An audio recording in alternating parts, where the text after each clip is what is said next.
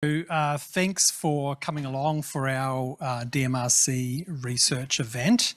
Uh, so you may recall that in the um, in the deep um, past, before COVID, we used to have DMRC Fridays, and uh, these were centre-wide sort of research events where uh, people would come along and um, present their research to the community. And uh, we we did a couple of things like that during uh, the darkest days of the pandemic, but we never really had the opportunity to get back together to um, do this as a, as, a, as a live kind of presentation. So this is the first one of these that we've been able to do for a while. Um, before I go any further, um, I'd like to begin by um, acknowledging the traditional owners. Uh, QUT acknowledges the Turrbal and Yagara as the First Nations owners of the lands where QUT now stands and we pay respect to their elders' laws, customs and creation spirits. We recognise that these lands have always been places of teaching, research and learning and acknowledge the important role Aboriginal and Torres Strait Islander people continue to play in the QUT community. Um, so I think I know most people online and most people in the room here, but if, um, if, if not, then uh, my name's Michael Dezuanni. I'm the Acting Director of the Digital Media Research Centre um, usually the, um, and, and simultaneously at the moment, head of the um, Digital Inclusion and Participation Program in the Centre. Um, and I'll be acting in this role for another, I think, three weeks or so until Patrick gets back. Um, and I'll be uh, very grateful to welcome him back to, to be director.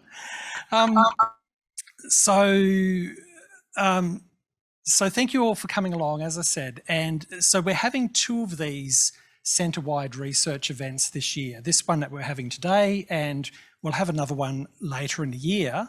But in the mix of events and presentations for the DMRC this year, we also um, will be having a visiting scholar lecture um, in uh, August and we'll release details about that in the coming weeks. We're just finalising plans for that, and but um, looks like we'll have uh, quite an exciting visiting scholar with us um, to spend some time with us, but also to do a presentation for us. And then also um, in October, we are going to have a DMRC showcase series of events, and that showcase we'll have at least two really significant events, or actually three really significant events. So uh, there'll probably be some sort of industry facing event. Uh, we will, um, uh, again this year, have our Indigenous Re Research Seminar that will be part of that week. And we'll also have a public facing event. And uh, we have um, secured Flow State at South Bank, which is kind of a, a semi-open uh, venue at um, South Bank that kind of faces onto, um, um, well, it faces onto South Bank itself and, and it, you know, it allows us to really engage with the public. So we hope we'll be able to do something really exciting in that venue. And uh, the committee that's um, organising all of that um, is meeting on a regular basis at the moment. And so we'll have more details about what that week will look like as well later in the year. Um, so, but without any further ado, I'd like to introduce this event today. And so today uh, we've got two presentations on the, on the topic of the digital town square. We, for this event, we did do something different in that we came up with a topic and then invited people to kind of speak to the topic, and um, which I think is a great idea. And uh, you know, we'll we'll keep playing around with exactly how we do this in, in future for future events. Um, um, so, you know, I guess it's coming up with the actual topic is always the challenge. And, um, and we might, you know, come back to the community as well to think about how we come up with, with the topics that we might want people to speak to. But in this case, it's a digital town square and we've got two, two talks. One is from smart cities to digital town squares data care as a model for community-led urban analysis. And so uh, we will have um, three people speaking as part of that. Uh, Professor Peta Mitchell, Associate Professor Marcus Rittenbruch, and Professor um, Marcus Foth. And then in the second part, uh, we will have um, Amy Horrigan, who's a PhD candidate here in the DMRC, speaking on the I as we in the digital public sphere, socio-political reflections from Samoa. Um, so I'm going to, uh, so we will take questions at the end of each of the talks, um, and then we might open up to a more general discussion at the end as well. Um, but I'll hand over now to, I think, Peta, who is going to um, kick us off and, um, for our first talk.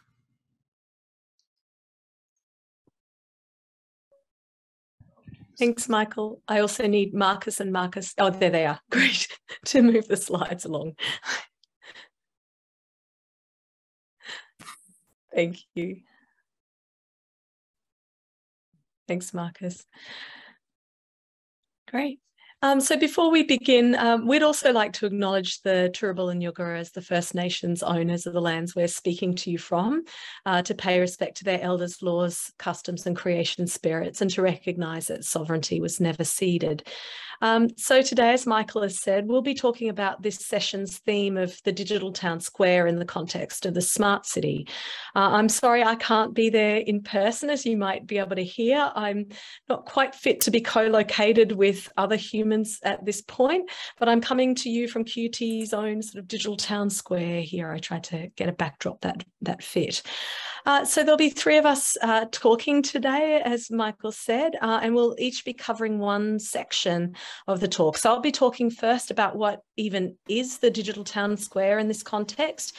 Uh, then Marcus Rittenbruch will be talking about participatory data analytics as a way of reconfiguring a notion of the Digital Town Square. And then Marcus Foth will be outlining Data Care, a project we're developing as a model for community-led urban analysis. So next slide, thanks Marcus. Right. So this is who we are. We're part of the Urban Media and Digital Geographies Research Group of the DMRC. We're an interdisciplinary group uh, bridging design and communication, as you can see. Uh, and you can find out more about us and the work our group does on the DMRC site. And we're really happy to talk to anyone after this session if you're interested in knowing more um, or getting involved. Next slide. Thanks, Marcus. Um, so we know uh, that the theme for today's uh, DMRC event uh, came from one of Elon Musk's pronouncements about Twitter and what he thinks it is and what he wants it to be. Uh, so in April, along with saying that he wanted to uh, authenticate all humans, Musk also announced that his vision for Twitter was as the internet's digital town square where matters vital to humanity are debated.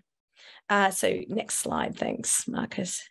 And our own illustrious Jean Burgess even wrote a timely piece on this for the conversation the following day, I think, asking what it means for the idea of a digital town, digital town square when online spaces are owned by billionaires.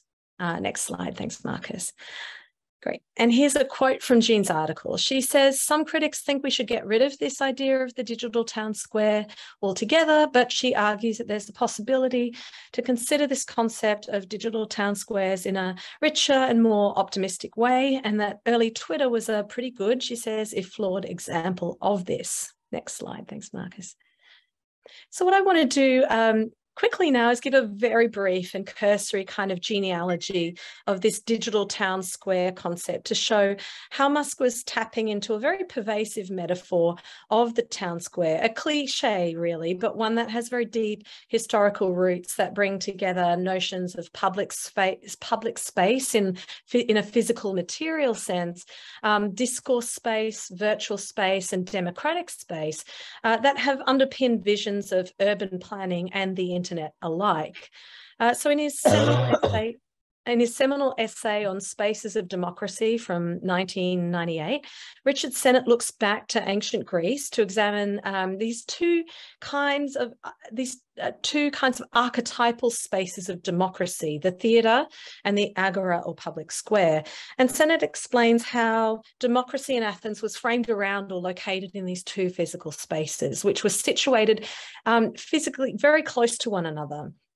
So the Pnyx Theatre, where popular assemblies were held to debate public policy, overlooked the Agora, where uh, which was also a public assembly and discourse space, and also a commercial marketplace.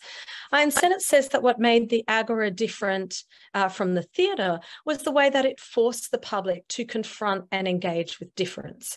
Uh, it prepared, he said, people for diversity and for debate.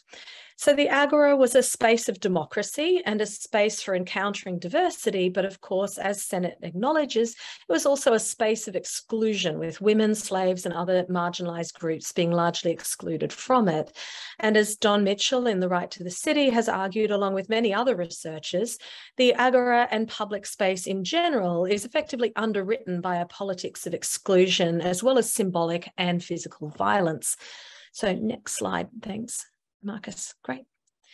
Um, where we see this notion of the democratic potentialities of physical material, public space, and discourse space coming together is, of course, in Habermas, who at the very outset of his uh, structural transformation of the public sphere invokes the agora as the kind of genesis point for the notion of a distinct um, public and private sphere. And he importantly points out that the agora was, was where public um, life played out. It was the most prominent place, but it wasn't the only place. Public life, he said, was also constituted in discussion or lexis and in common action or praxis. And so here we get very strongly this interplay or even transfer from physical space to discourse space as a space of democratic engagement. And this, of course, was foundational in early discussions and debates about the internet and the potential for virtual spaces to operate as or to replicate both these democratic, physical, and discursive spaces. Just one example here is Mark Poster's 1997 essay on cyber democracy, where he invokes both the Habermasian public sphere and the Agora um, saying that conceiving of the internet as a public sphere means taking very seriously these underpinning constitutive spatial metaphors. And it wasn't just researchers invoking um, these metaphors. GeoCities is a great example of this drive to kind of replicate a notion of democratizing urban space on the on the early internet. Those of you who, who can remember back to the mid 90s, um, GeoCities was this sort of spatially ordered web directory. So education and philosophy could be found under Athens. Uh, and there was an Agora section as well. So it also very strongly invoked this kind of classical notion of, democ of democratic uh, spaces and, and places, excuse me. Next slide, thanks, Marcus. So Alessandro Aurigi's book, Making the Digital City, The Early Shaping of Urban Internet Space is a fantastic exploration of how the early internet invoked physical public space in virtual environments and how important this idea or metaphor of the digital town square was. And just one example here that he gives is Barclay Bank's Barclay Square virtual marketplace and shopping mall, which was launched in, in 1995. Um, so gone through all of this ancient history and ancient internet history uh, to highlight that Musk's invocation of this digital public square is both deeply rooted in early visions of the internet, um, but also in much earlier ideas about how public space might or might not facilitate democratic debate, engagement, and deliberation. Next slide, please, Marcus.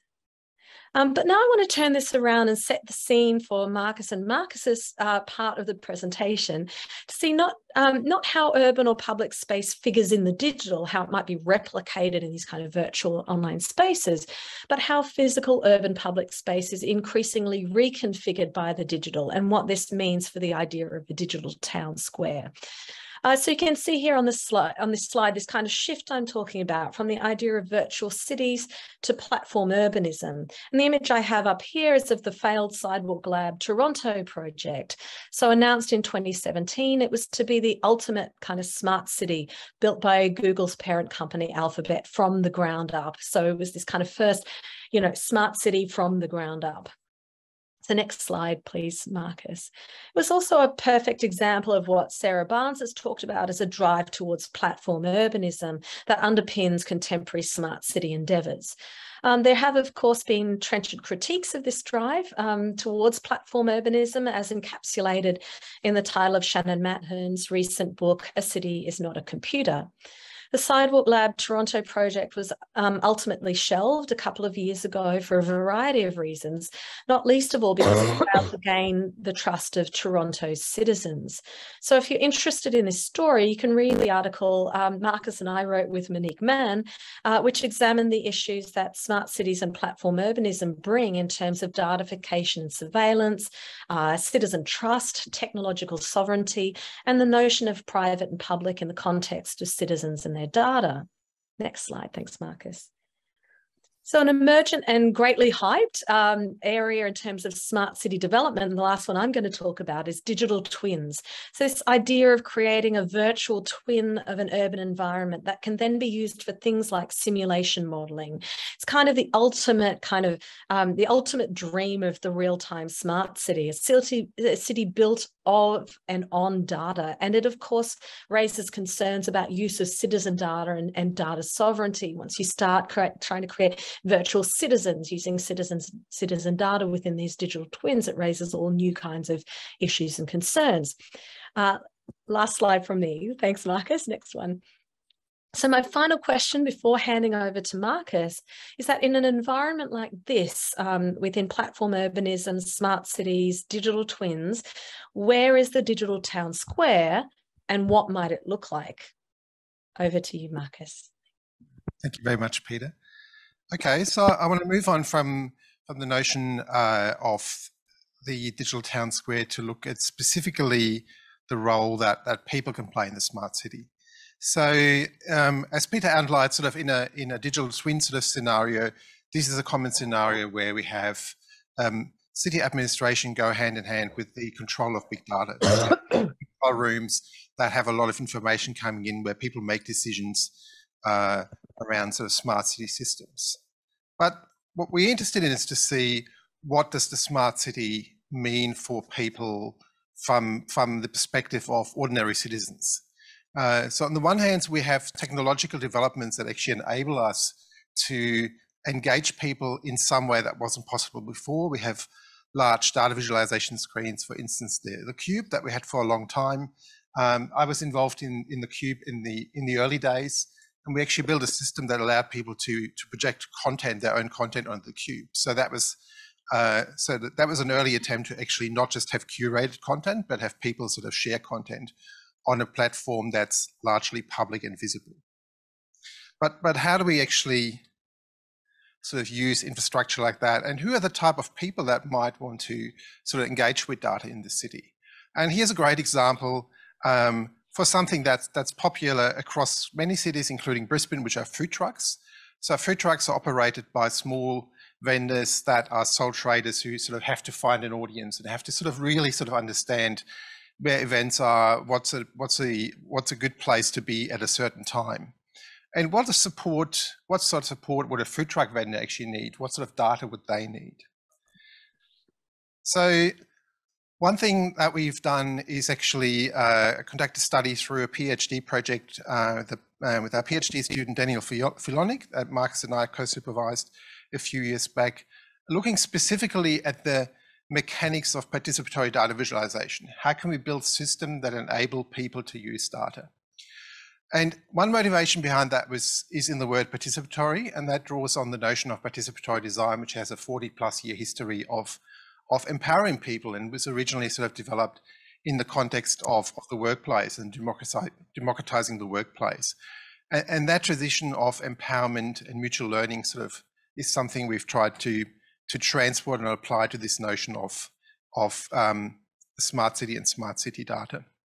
So what you see here is a, a, specific prototype that Daniel has built for his, his PhD. And the, the, the really interesting thing here is that we actually see the system and the data being transported in situ into the city. So this is a deployment at Wandering Cooks, uh, where Daniel held a series of interviews with food truck vendors and so he brought this, his system and the data with him to allow people to sort of explore how they could actually apply and use data in, in, in, in a real sort of uh, um, real life, uh, sort of in a, in a real world environment. Um, so here's one example of um, a data visualization that Daniel created using his system. And that was based on food drive data and looking at the distribution of different cuisines across the city. So if you can see that, you know, you have Italian, you have Turkish, uh, Brazilian, and if you have a number of vendors around you that have very similar food trucks, that might not be a good sort of uh, business strategy. So it was a very simple sort of visualization, um, and that was driven by the demands or the sort of the, the sort of the interaction with the uh, with the food truck vendors. Another example here, it's being used around crowding, so understanding where events might happen, whether there's a construction site or it's okay. Is there an issue? Oh yeah. Uh, sorry, Carrie Ann, if you can hear me, if you could mute your microphone, that would be much appreciated. Okay, all right, I'll carry on. So uh, this example is about crowding. So looking at where, where people actually are. So that, again, it could be construction site, it could be events, uh, it could be other events um, like sporting events, etc. And sort of visualizing that and bringing that data to the people might use it, like the food truck vendors. So that's the publication that we've written about that. So that that's the uh, that's the notion of um, participatory data visualization and an applied sort of study into what um, this might might actually look like for uh, for people in the city and how we can build systems that would support that. Okay, Marcus, over to you. Thank you. Um, so as you've seen, I think these three sections can also be easily described as like the past, um, present, and the future, um, where Peta has given you a bit of a backdrop and the contextual setting of the um, digital town square and the um, food truck example that um, Marcus just discussed is actually something that happened more, more recently. What we didn't realize at the time is that this food truck example resonated really, really well with industry. So um, about two years ago, um, as part of um, a whole bunch of cost savings, um, QUT thought we it would be a good idea to cancel our membership um, on the Committee for Brisbane. And the committee contacted me and said, oh, do you want to be on this smart city task force that we've just created? But um, there is a little caveat um, in that um, QUT is thinking of saving the membership. So maybe you can have a word with, you know, whoever to continue the membership payment from QUT to the committee. And I said, yeah, I'll see what I can do. And so we, we managed to not only con, uh, continue the membership, but also be on this committee, um, which eventually produced this particular policy white paper that is called um, Southeast Queensland, Australia's first data community. So it was a bunch of um, uh, industry representatives, local government representatives, uh, myself um, and others from um, the wider Brisbane community coming together to talk about what um, not just a smart city, but a smart region could, could look like. And as part of these deliberations, I brought in the food truck example that had just happened um, a year earlier. And so the food truck example really informed these first two um, kind of initiatives or proposals of that task force. There's also, and I'll explain uh, number one and two in a, a, little bit more detail, the Data Hub and the SME Data and Digital Literacy Program. But as part of this white paper, there's also a proposal around um, further investment in Southeast Queensland in smart infrastructure policy. And that eventually made its way into the recent announcement of the Southeast Queensland City deal, uh, as well as further announcements around the Olympics. Um, there is a proposal and um, a recommendation around creating a data leadership accelerator fund uh, by the Queensland State Government, as well as a data leadership commissioner. And so this was presented to the Queensland State Government and it's making its way through digital, uh, the, the, various digital um, advisors to um, chief of staff and ministers and the way it kind of goes. Now, this also dovetailed really nicely with a industry-led initiative, which is been um, shepherded by the Smart Cities Council Australia New Zealand, and they call this initiative the Centre for Data Leadership. Um, we feel it's um, um, really an interesting initiative that comes from industry, probably also slightly informed by some of these debacles that happen internationally, such as the one that Peta mentioned earlier, the um, not just termination of the um, Sidewalk Labs um, waterfront development in Toronto, but also a lot of the media backlash, the community resistance, as well as um, additional resistance from the city of Toronto with regards to concerns around um, sovereignty and data sovereignty. So I think industry are starting to slowly realize that there are these concerns and also that some of these concerns cannot just be easily um, remedied by just talking about security. At the moment, there is this kind of passepartout that is about cybersecurity. Whatever your concern is in the IT world, the answer from industry seems to often be, we'll just increase, you know, the encryption.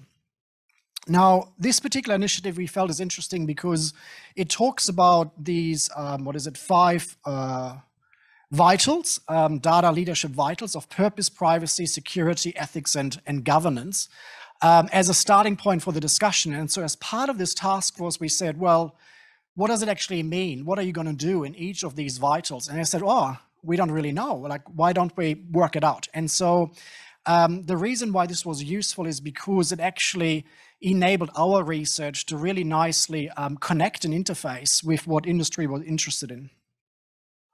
We also had some support from and still interest from Frontier SI. That's the um, new name for a CRC that has come to the end of their Commonwealth funding period. It's the former uh, CRC for spatial information. Uh, QUT is still a member of Frontier SI, and they actually also um, helped um, bring this proposal um, further together. So the vision here is um, for a um, entity to be created through an R&D project that is going to become Brisbane's dedicated facility as well as engagement program to champion data leadership and empower citizens, communities, and businesses to participate in city analytics. So in essence, what we've demonstrated as a proof of concept with the um, food truck example, we wanted to be able to replicate this for other um, industries, for other um, data analytics purposes, for other kinds of sole traders and small and medium enterprises, and for community groups. So data DataCare has these two components. Um, it is a physical space. You can think of it maybe as a living lab that is actually physically set up um, in a um, dedicated location. It could also be set up in a redeployable mobile kind of fashion. And um, I'm looking at Michael because we had some examples and some experience setting up a mobile makerspace a couple of years ago in Townsville, um, repurposing a um, disused shipping container. And so we actually brought some of these images from a couple of years ago from Townsville into the task force discussions and showed them what it can look like and the fact that we worked together with JCU um, to turn a shipping container into a mobile maker um, space. And they were very um, uh, interested in replicating this not as a maker space, but a data living lab. The um, engagement part then comes about the research informing how the space gets configured and activated and used. And so together with ThoughtWorks at the time, we developed a number of scenarios. Um, I'm going to briefly discuss um, the, um, the last um, two. Uh, just briefly, data awareness is really about um, what the name suggests. So it's actually um, running classes, running engagement workshops that uh, sensitizes participants around the issues to do with data and, and data governance. Similarly, then, um, if participants feel that they would need further training, there's you know um, conventional training workshops being offered. What I think is more interesting is the configurations of the data care living lab um, that are in the um, data action and data futures category. So data action um, would enable um, citizens pretty much to, to lease or rent out or book that space and configure it um, in a similar way to what we've done with the food truck example to suit their particular needs and purposes. So the um, specific um, use case that we've exercised through was around a cycling action group um, that was um, really upset about the prospect of that new um, Neville Bonner Bridge across the river being connected from South Bank on the one side to the Pokie Hall on the other side of the new casino. And so what would you do as a community action group that is, you know, volunteers, it's uh, a nonprofit, it um, doesn't have a lot of funding, and it's up against um, the might of a um, casino developer that has a lot of money to argue the opposite case, that it's a great idea to connect this bridge to the Pokie Hall. So the data care facility could enable um, such um, community groups to engage in civic activism, to use data to make their case. The um, data futures one is, I think, also really interesting.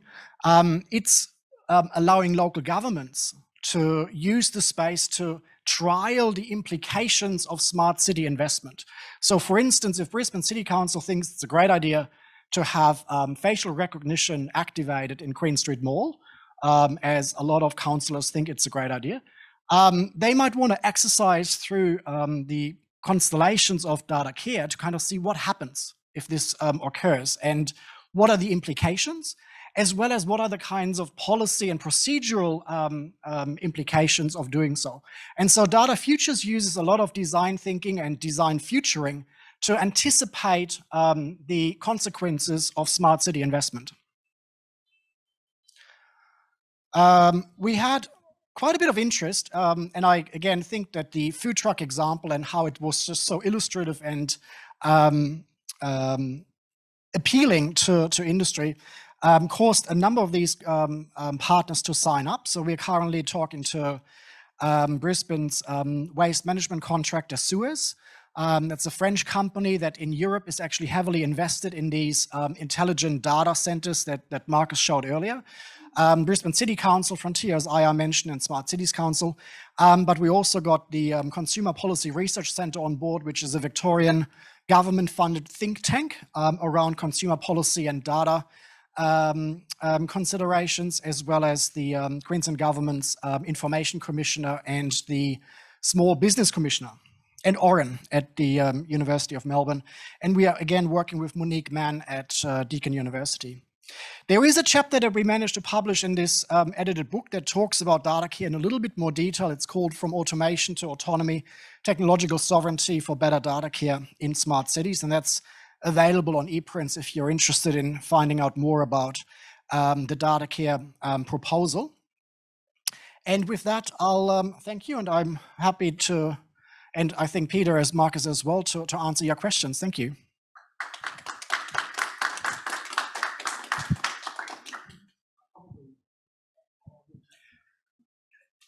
Right, thanks, Marcus. So, um, so we have some time now, probably 10 minutes or so for uh, Q&A following that discussion. Um, so I think Tal is monitoring the chat on um, on Zoom to see if um, anyone wants to ask a question online. But um, anyone in the room here? Bernadette, you Hi, this is Bernadette speaking. Um, thank you. That was really great. I loved how you structured the talk, um, past, present, and emerging. And um, can you talk a little bit about how people can get involved? I mean, I'm I had no idea all this was happening. This is great. How to how how can people help? So and the um, I think um, Peta might want to talk about um, the research group, but um, I might just quickly comment on um, logistically what's currently happening. So we did submit this as a ARC linkage proposal. So it's a written grant that we are currently revising for resubmission because unfortunately it wasn't successful uh, in the last round. So we're currently looking at whether we're going to put it back into the uh, upcoming round that closes in August. Um, our main concern really is that the um, feedback we had from the peer reviewers um, was very positive, and so we don't really have much to go by why it was rejected. Um, and the other um, problem is that there's still the legacy from the previous um, government that 70% of funding in the linkage round is going to be allocated to manufacturing priorities. So we're not really sure whether um, this particular proposal would fly under those circumstances where we then fight over the remaining 30%. Um, so one of the things that we're currently discussing with Frontier SI is whether we might look at whether a CRCP, which is a CRC project, um, could be more suitable for um, um, applying for funding. Um, the problem there is that with the new government coming in, the um, scheme hasn't really opened yet or the priorities haven't been set. But logistically, that's kind of where that specific project is at. But in terms of involvement, Peta, do you want to comment on um, just the group and how to get involved? Yeah, for sure. Um, we've got a we've we've got a, a, group that's largely formed around some of this collaborative work that we've done, but we're absolutely very interested in expanding that group. Um, and um, so so do get in contact if if you're interested in getting involved. Um, if there are so our, our focus is is quite spatial. Uh, so often a focus on smart cities, uh, but also uh, notions of digital geographies more generally um, as well. So if you've got a spatial component to the work you're doing, please please get in touch and we'd love to, um, yeah, we'd love to talk more. Hi, thanks guys. Um, yeah, so this is maybe like a quite naive question, but I just wanted to return to some of Peta's stuff. So she was talking about how historically, like the internet was meant to usher in this new public sphere, this new vision of democracy. And of course, that didn't happen. In fact, it did damage to the public sphere. So I guess I'm just wondering, like, what do you think that this smart city stuff is going to lead to something new and different? Like, I guess I'm just trying to reconcile what Peta was talking about historically and this future stuff. Like, you seem to think there's a lot of promise in the data city stuff. And I'm yeah. just wondering, yeah. Oh, sorry. Yeah, no, I'm I might jump in. So I think um, what we're trying to do is tread a balance between these kinds of very dystopian uh, visions of what the smart city is going to be uh, doing like this complete um, surveillance state and just mining us for our data and these sorts of things, uh, and and seeing it as a liberatory kind of um, vision of, of the city as well, and and seeing some seeing um, potential to engage engage citizens in using their data. So uh, so in that paper I mentioned um, that was led by Monique Mann, uh, which looked at the block sidewalk, um, the Sidewalk Labs um, project. We the, the other case study we looked at was Barcelona, uh, which had a very much a citizen-led um, approach to their smart city, which was framed around uh, data and technological sovereignty. So this idea that the citizens, um, uh, to boil it down, ha have a have a right to their data and um, have sovereignty over their data, and had a much more engaged role in um, building that kind of um, smart city approach there. So it's taking those kinds of elements and the participatory elements of that and saying what can we do to engage people more with their data um, within a, a, an environment in, in an urban environment in, that is um, inc- increasingly predicated on mining on, on on mining data and citizen data. That makes a bit of sense. I'm happy to maybe just give another yeah jump on in marcus. of that answer. So my impression from those uh, from the task force meetings and the industry kind of deliberations is that there is a growing um, awareness that they can't just um, go on the way um, they have been, kind of business as usual. Um, the the term social license to operate, which comes from uh, natural resource mining, has entered the discourse of the smart city industry circus. So even their own industry events, there's dedicated sessions where they talk about how do we maintain social license to operate. Um, and a lot of the discussions are still kind of struggling to overcome the divide, this kind of black and white dichotomy between the smart city hype and this is amazing and data is the new gold, and then the dystopian um, kind of big critiques. So Jean in her new book, um, you know, has a bit of a critique of the big critiques in there, which I think is really useful to actually um, look for middle ground. So how do you work with these kinds of initiatives that are obviously ongoing and and quite advanced in many cities, including this one? Um, and how do you influence the conversations with industry? So in this particular case, we were, managed to actually get them genuinely on board to realize that there's more um, participatory and accessible notion of data analytics could actually provide a lot of benefit to, to community groups, to small medium enterprises, whilst it's not exactly, you know, verbatim the same as the digital town square, perhaps, it still has a whole bunch of characteristics that we find are really desirable.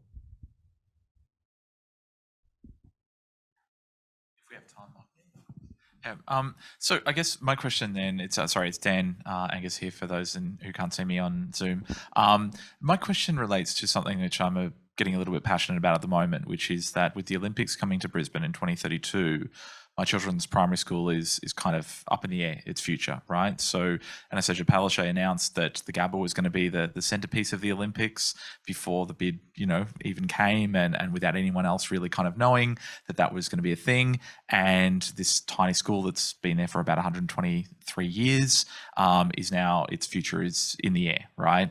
With something like that, it seems that there is a complete continuing lack of transparency around any data involved in planning that, any data in terms of future enrollment um, projections, data coming out of the, the, Department of Education, data coming from the you know Premier and Cabinet where these decisions have been made. I mean, they've been based on something. We hear numbers of one billion dollars for reconstruction of this that it's going to fit in with this Olympic new norm my question is cynically i sit here and, and hear these these promises around smart cities and data and such but that politically we're still in an environment where the powers that be want none of that data actually in the hands of its citizenry. They, they they're using these tools and these levers to to gobble up more of it and and can and keep it in their own hands.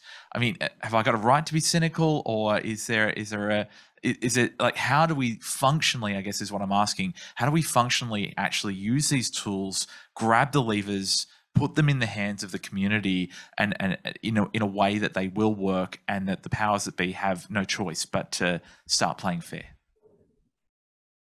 I'm happy to, to um, maybe just jump in and and try you know give give a bit of an answer. It's not really a um, um, comprehensive one though. I think though that Brisbane has just elected three Greens MPs, and it's it's partly due to a lot of people trying to make sense of um, very local issues that they're grappling with. So the one I'm most familiar with, as as you know, Dan, is the um, the flight path noise. And what I've noticed in, in that group is just the um, the sheer um, um, enthusiasm for really um, going out of their way to access data, all sorts of data, it, from conventional data in the sense of submitting FOI requests to various departments and getting, you know, historic documents around approvals and the Environmental Protection and Biodiversity Act's um, public register and going through, you know, the entire history of that.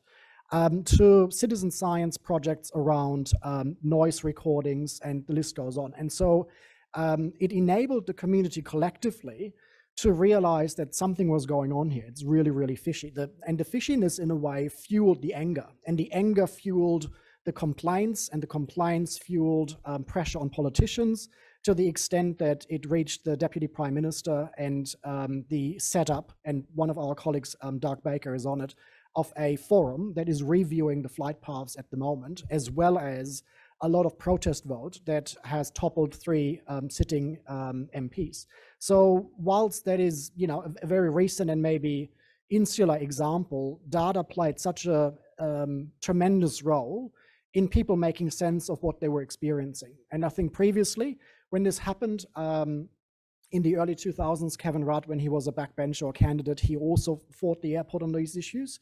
These kinds of tools and that level of um, internet not just the, the access to the data, but also the way that the internet um, facilitated people talking about it and finding each other and, and forming this group so quickly. So we know from insiders that the airport's um, executives have just been completely flabbergasted by underestimating these retirees with Facebook skills.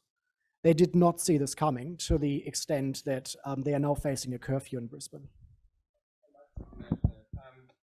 If if I could just um, jump in, Dan, it's interesting that you mentioned the Olympics because there is a Southeast Queensland digital twin project, and the entire kind of uh, thing driving that forward is the Olympics. Uh, so using um, using uh, the Olympics is a way of doing things like um, simulating mass transit uh, uh, in, in, order to prepare for the Olympics um, and doing these kinds of simulation models. So it's almost certain that that data will be out there. And um, yeah, so I, I, I, don't think you're wrong to be cynical, but as Marcus has already said, um, governments and industry are becoming increasingly aware uh, of how critical citizen trust is to getting getting projects off the ground. Uh, and and the, so so I, I think that that um, is becoming a bit more of a nuanced conversation around that, I think, with government and industry. And if I might just add to that, um, so I think I think um, sort of data activism is you know what you're talking about really in terms of uh, in terms of the airport and uh, one of the challenges there is not just literacy, but also the ability to use the, the tools that allow you to make sense of data. And that, you know, those are, I think, research questions that we're trying to answer, sort of actually doing on the ground participatory design with people to understand what sort of do they actually need, how could they sort of uh, and list those data. And we've got a PhD student who's currently in uh, sort of in uh, in uh, Mount Tamborine, working with the Women's Association, counting road users, like the number of cars going across the road, so to, to, to really sort of understand what is on the ground data people are dealing with. So it doesn't help you with the uh, with the, with the school, but I think that sort of level of uh, sort of actually supporting data activism in a way um, is also important. Okay, I think we'd better um, bring that part of the um, presentation today to a close, but uh, please join me in thanking Marcus, Marcus and Peta uh, for that fantastic presentation. Um, and Amy, maybe um, if you just organise sharing your screen again there. Um, I've got a feeling that um, we're going to be talking about the Olympics a lot uh, in the coming years. it's, it's going to come to dominate all discussion, I think, for probably, well, better or worse, but yeah. Um, so I hope we don't become the Digital Media Research Centre for the Olympics. Um, yep, may, yes. Axel just said maybe there's money to, to be had there. I, yeah, that, that, that would be good. Um, all right, so I'm going to hand over now to Amy Horrigan, who's a PhD student in the Digital Media Research Centre. And um, her presentation, um, it, it, takes a bit of a different uh, focus on this question of the digital town square, but um, an incredibly important one. Um, so over to you, Amy. So, talofa, everyone. Um, thank you for coming along today. I hope that you're all doing fabulously. Um, I also want to begin by just acknowledging that we're gathering on the unceded lands of the Turrbal and Yagara peoples. I pay my respects to their elders, laws, customs, and creation spirits, and also honour the powerful presence of the lands and waters around us as that which inspires and incites teaching, learning, and research. So, as Michael said, I'm Amy. I'm a third year PhD candidate in the DMRC. Um, and today I'm going to talk through some of these tensions within this idea of a digital town square um, as it relates to and extends from a far more grounded perspective of digital inclusion um, and the use of digital technologies for community engagement and individual empowerment. Um, so basically, I'm going to talk about how the values and practices of Samoan culture um, challenge and are challenged by socio-technical constructs like the digital town square. Um, in putting my presentation together today, um, I've drawn from work that I've been doing for the past year with two Pacifica community organisations based here in Mianjin, Brisbane. Um, and in that project, we've sought to um, look at how digital inclusion is more broadly constructed from a Samoan perspective, um, and also how the two organisations can use this emerging, faster, more grounded definition um, to drive any future digital inclusion related work that they're going to do. Um, recognizing my position as someone who is not Samoan, and also some of the broader decolonial objectives that are necessary for this type of research. Um, the group have really taken the lead on designing the project's um, objectives, actions, and anticipated outcomes. Um, and we've ultimately come to work alongside each other as peer researchers. So, in saying all of that, as a first step, I just want to emphasize that I'm not seeking to make claims for the Samoan community or to speak on their behalf in my presentation today. Um, rather, I aim to um, position this work as an ongoing provocation for my own praxis and for digital inclusion research and industry practice more broadly. Um, to kick things off and to help situate some of the points that I'm going to make today, um, I just want to give a quick introduction to Samoa's socio-political structure. So everyday life in Samoa is underpinned by Fa'a Samoa or the Samoan way. At the heart of Fa'a Samoa are considerations of the Va, the contextual, multidimensional, socio-spatial relationality that guides knowledge and action. Um, to put a different way, the Va is the space that relates. Uh, it holds separate entities and things together and provides context and meaning to these relationships. Through the Va, notions of identity and subjectivity are mediated by perceptions of the self as individual, so as an identity that is deeply dependent on others and which determines certain relational obligations, responsibilities, and behaviours. The Va also extends into the Fa'amatai, Samoa's traditional decentralised governance structure. The Fa'amatai implements social and economic order through a hierarchical political structure that gives decision making power and authority to Matai or village chief and other Faipule, mm, village leaders, through the genealogical status and associated land titles of their Aiga Potopoto or extended family. Individuals are again ascribed certain roles, responsibilities, and importantly, social boundaries based on their position within Fa'amatai. Fulfilling these roles and remaining respectful of those social boundaries ensures harmony and political stability within the village and indeed within Samoan society overall, because even though each village ends up with its own level of political autonomy, the emphasis remains on kinship ties and underlying principles like reciprocity, consensus, and respect. Since 1962, though, when Samoa regained its independence from New Zealand, a form of parliamentary democracy has been adopted alongside Fa'amatai, with village leaders holding some sway at the local level, but otherwise being subsumed within kind of a larger structure or system of democratic governance.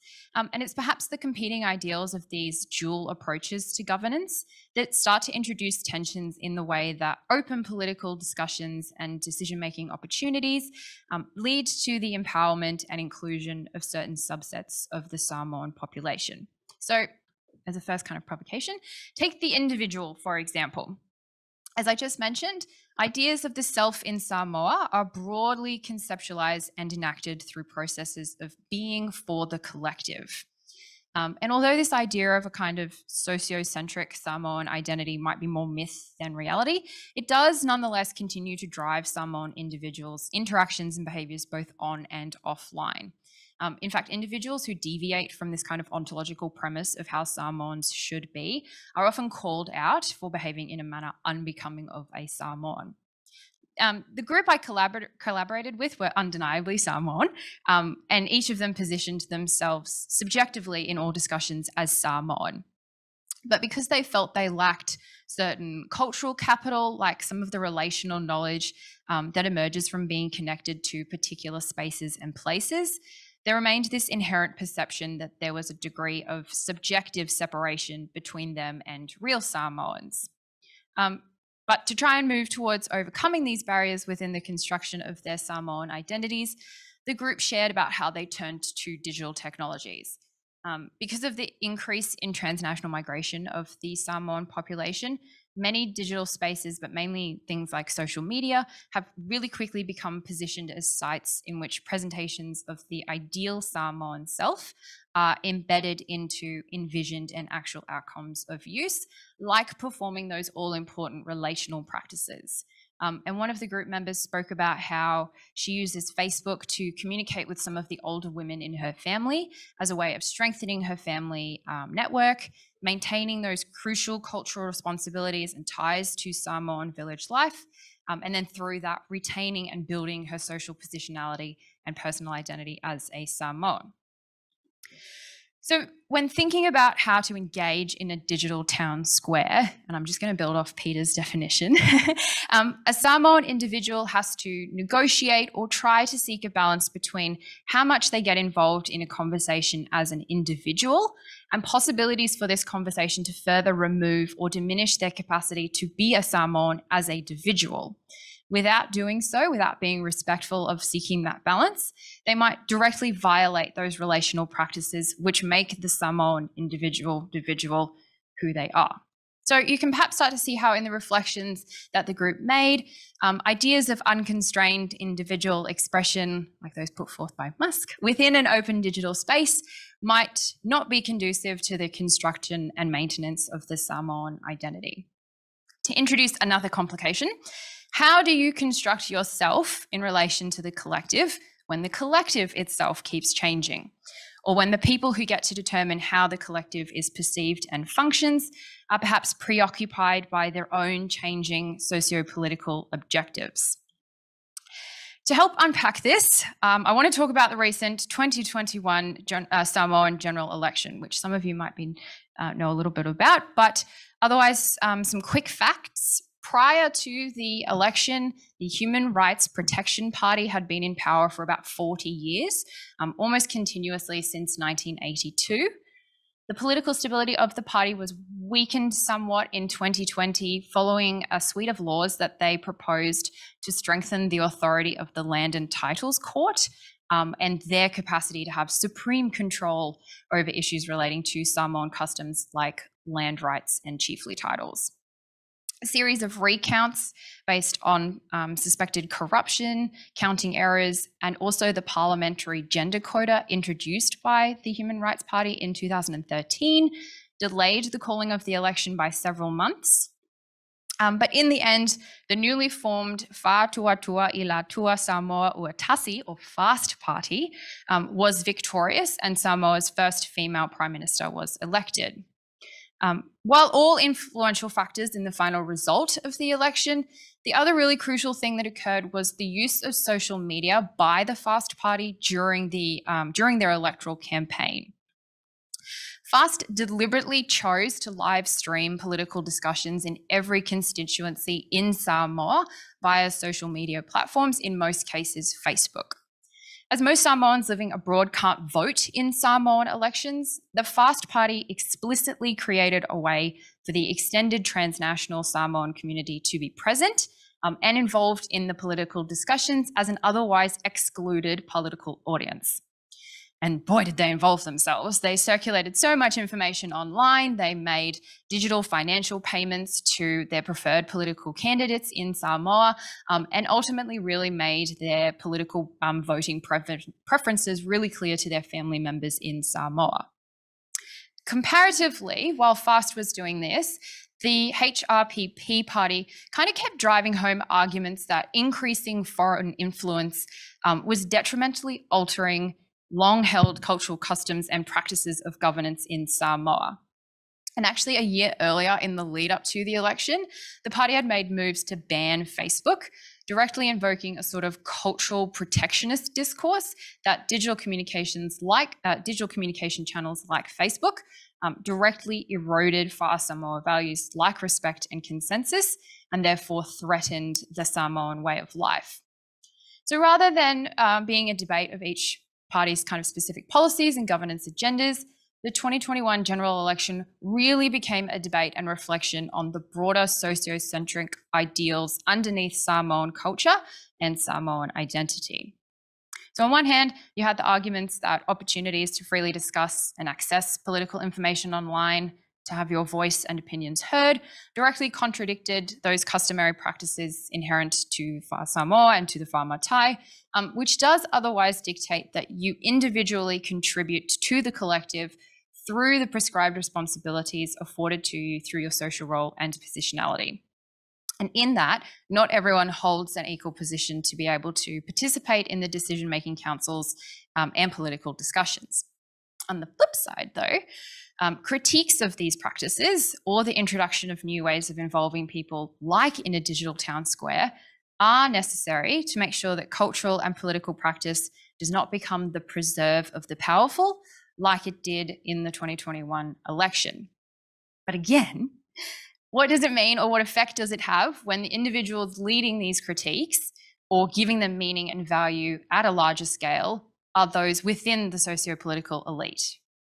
All right, it's that perpetual question of are the democratic ideals within the digital public space really democratic? We can extend this argument um, to when thinking about the ongoing coloniality embedded within the construction and regulatory control of digital infrastructure like social media platforms. Um, superficially, digital technologies seek to benefit and empower the global society through greater opportunities for inclusion and expression. But the possibilities for autonomy and freedom afforded by digital technologies are diminished when considering how they are, at least in the case of Samoa, held offshore by foreign providers, governed under foreign laws, and often the only available option in place of more local alternatives. In Samoa, digital infrastructure remains predominantly in the control of the West, um, or at least under the regulatory guardianship of countries like Australia and New Zealand.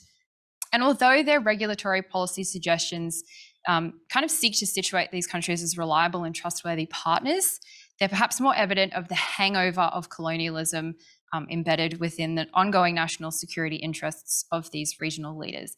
And I think the recent um, dramas around the China Samoa trade deal are a really good example of this because the partnership between Australia and Samoa that ensures the latter's integration into regional and social networks under this kind of banner of regional cohesion and small state empowerment um, does more ex- implicitly extend socioeconomic development trends that reinforce the boundedness of Samoa um, and really undermine its um, significance as a sovereign nation in the region.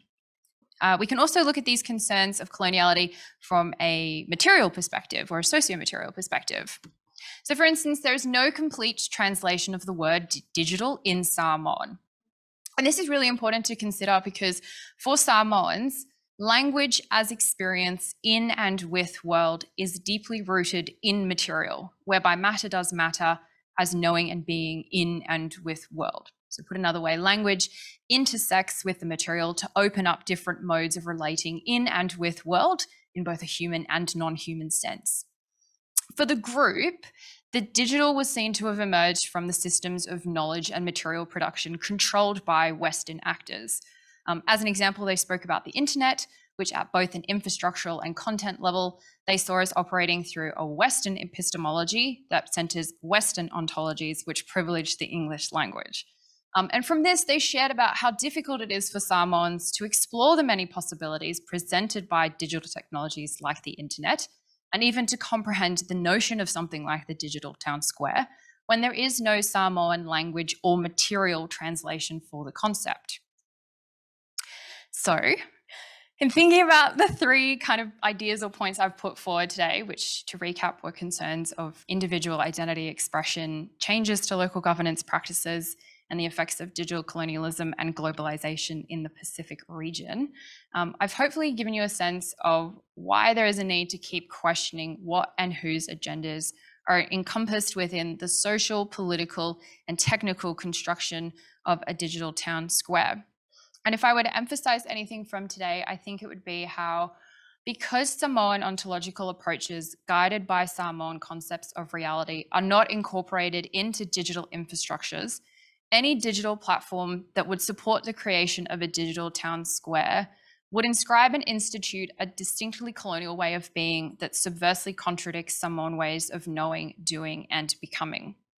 And so I think the only way we're going to really counter this, um, or to counter this as we move ahead, is that we need to continuously and more consciously consider how social and technological infrastructure reorder social arrangements and mechanisms of knowledge production that further shape who, what, and how we can know. Fa'afetai, thank you.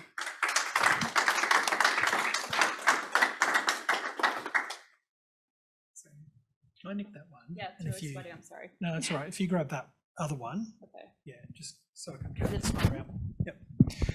Okay, so do we? Um, thank you, Amy. That was that was excellent. Thank you. And do we have any questions from the room here to begin with, or indeed from anyone online?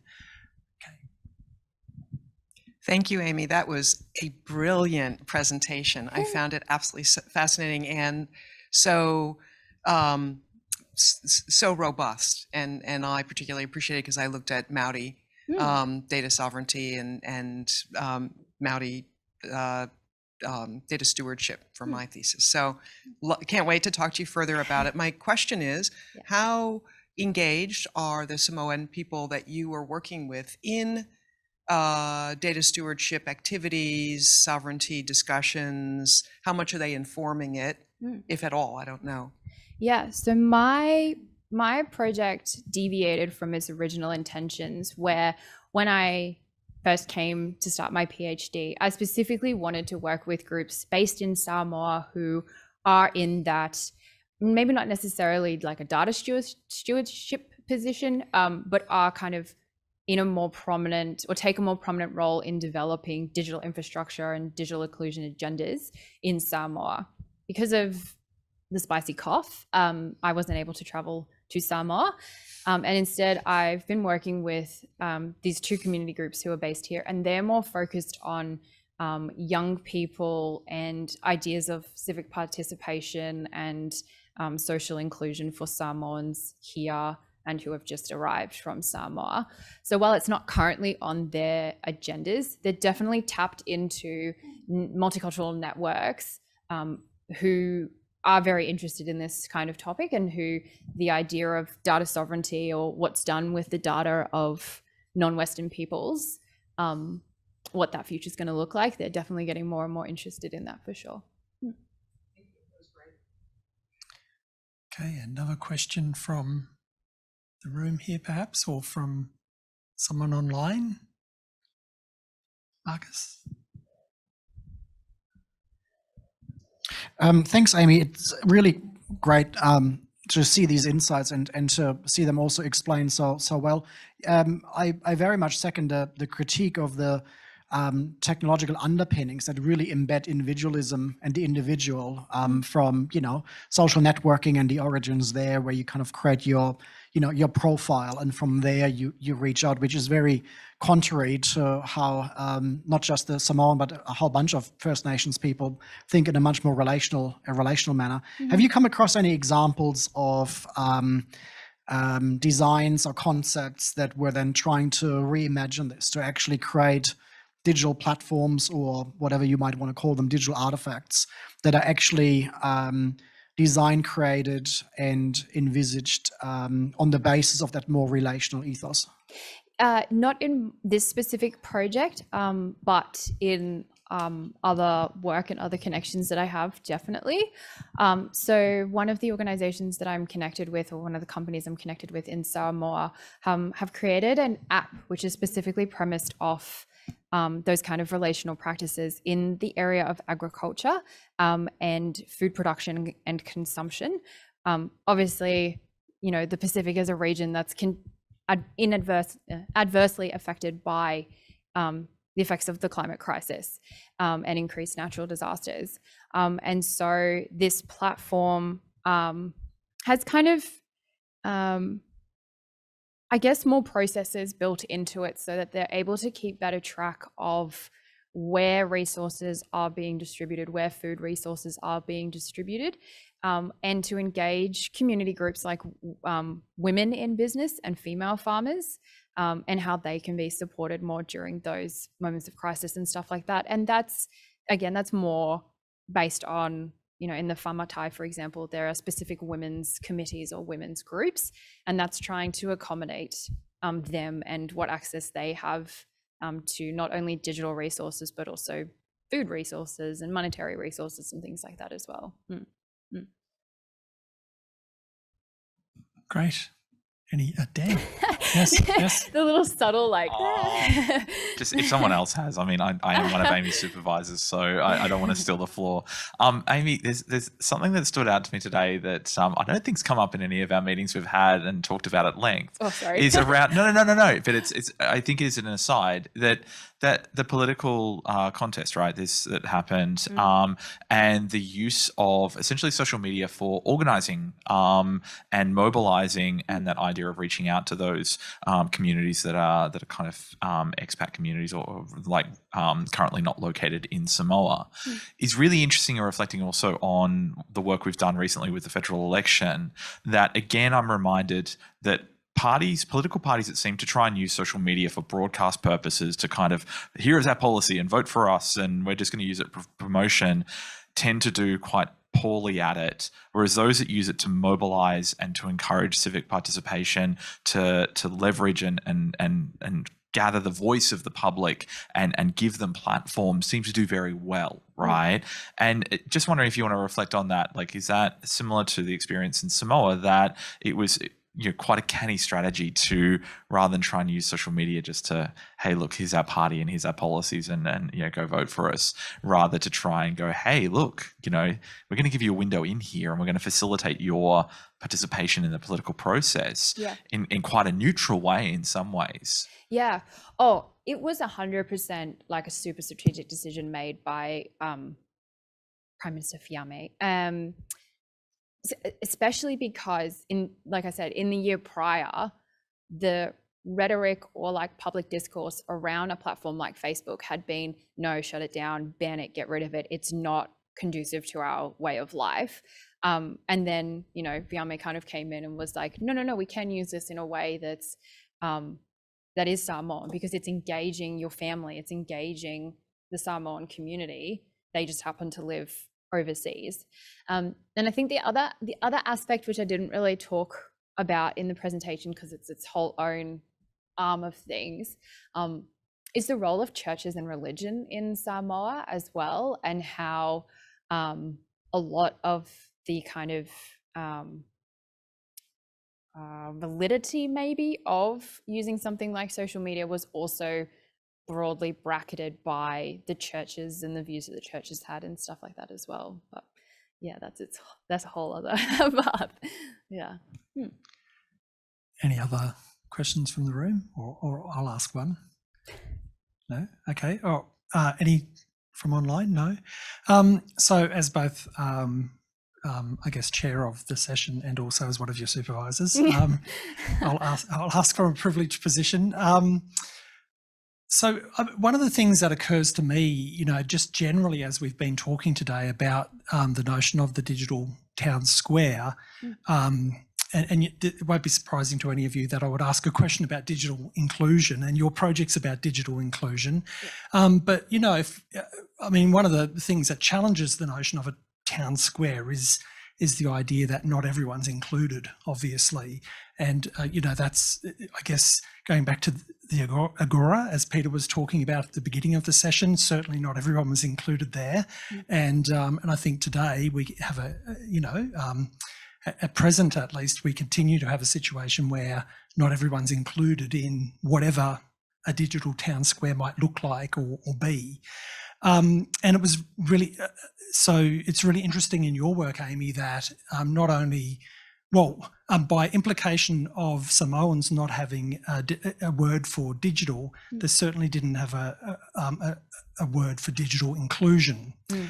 Um, so I, and and you know that was kind of challenging for you as part of your methodology to begin with. How do you have a discussion about digital inclusion mm. in that kind of context? So I wondered if you might talk about that just a little bit more, um, both in terms of you know reflecting on what that meant for you having that discussion, mm. but also just in terms of this broader implication for the notion of a digital town square.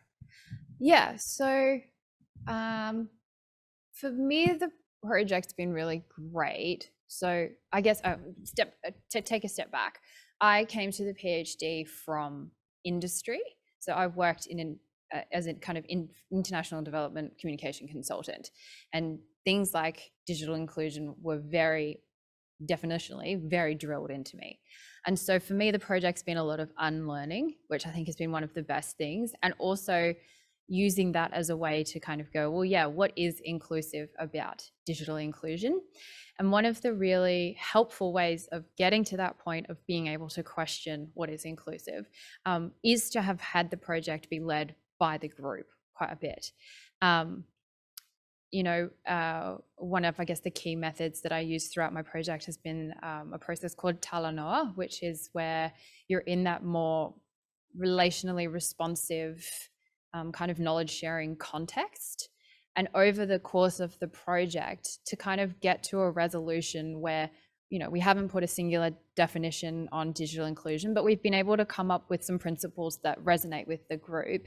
That's really occurred through that multi-stage Talanoa process. Like I said, I've been, you know, working with this group for a year and it has been working with that group for a year. Um, we did three main workshops, but then aside from that, there's been, you know, multiple conversations and um, kind of having them share little things with me, little concerns, little hopes and desires for the future. Um, and now it's really great where we're at the point where we've constructed those principles together. Um, and now they're able to go to the other community groups and stuff that they're working with it. So it's it's really great that it's again not this one singular definition of digital inclusion or standard of digital inclusion. It's this constantly evolving, growing, ever changing, fluid definition that is maybe more relationally responsive or um, does recognize maybe more of that contextual differences um, that really need to be more encompassed within the inclusive practices we want to do in digital inclusion. Yeah. Cool. Brilliant. Thanks, Amy. All right. Thank you.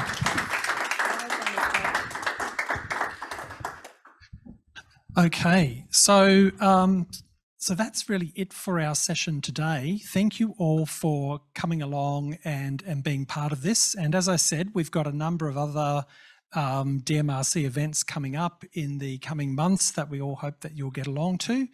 And um, otherwise, uh, thank you all for coming, and we'll see you next time.